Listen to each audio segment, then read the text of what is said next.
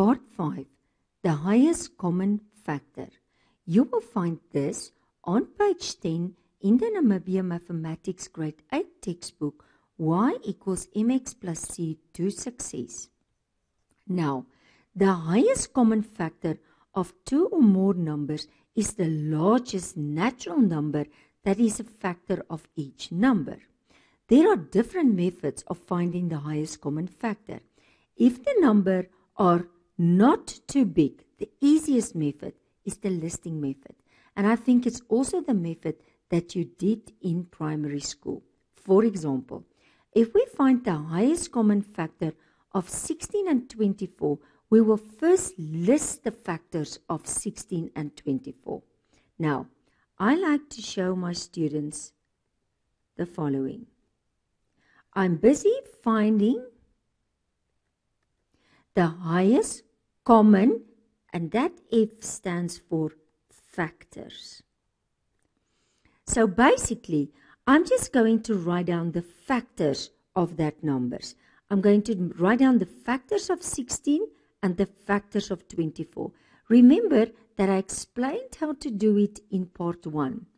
So, it's 1 times 16, 2 times 8, as well as 4. That's all the factors of 16. Then 1 times 24, 2 times 12, 3 times 8, and 4 times 6. That is the factors of 24. Now, let's continue with this word. First, that C, C stands for common.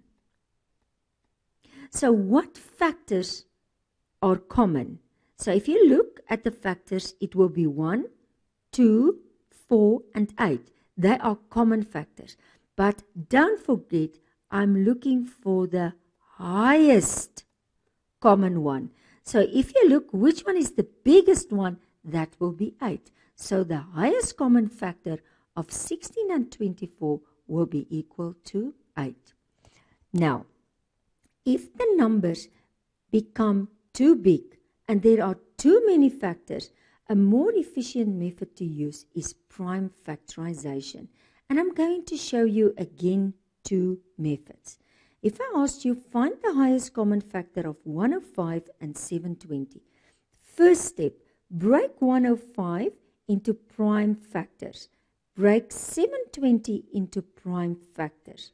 And I prefer the repeated division method. Remember that we take prime numbers as divisors. Okay. After you did that, now write it in factor form and try to write first there's no twos where this one is having twos. So start with 3 times 5 times 7. Now fill in this prime factors in the second row.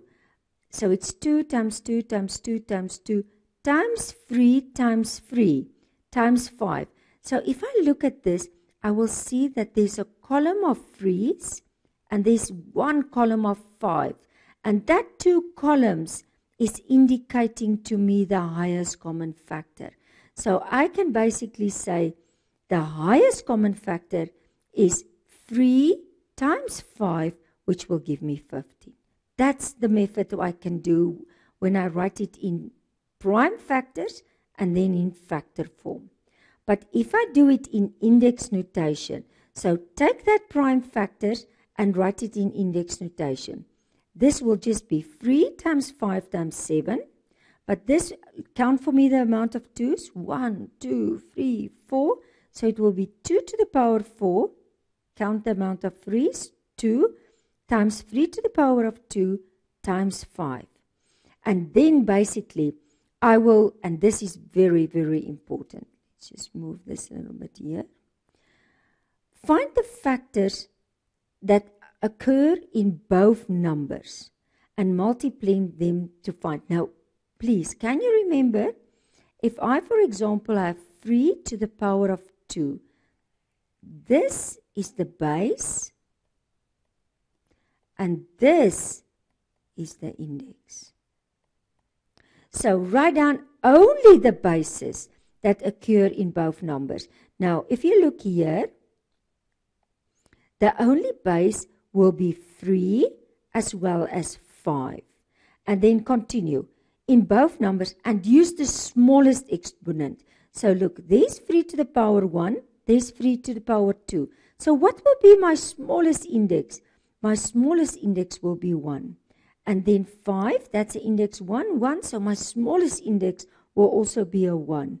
So basically it will be 3 to the power 1 times 5 to the power 1, which will also give me that 15. I want you to stop the video quickly and I want you to do for me, try now 4. I just want to move this up a little bit. Try now 4 and first just do number A. And then if you finish, you can continue with D. And in the next session, I will explain that two examples. That will be part 6.